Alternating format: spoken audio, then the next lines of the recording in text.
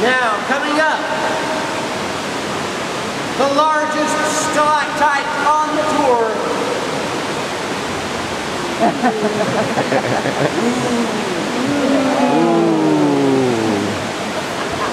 we call it the praying hands.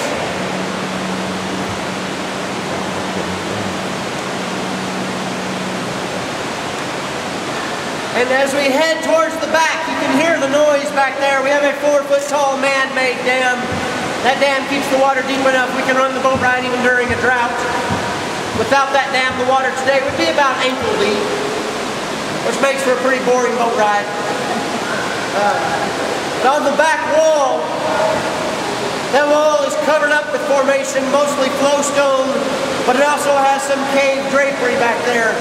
The thin sheets along the bottom ledge and also up near the ceiling.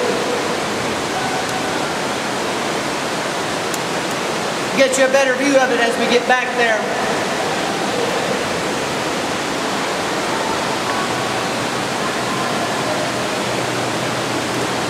We also have a little set of cave draperies in the middle. Right, right there. That's my bonsai tree.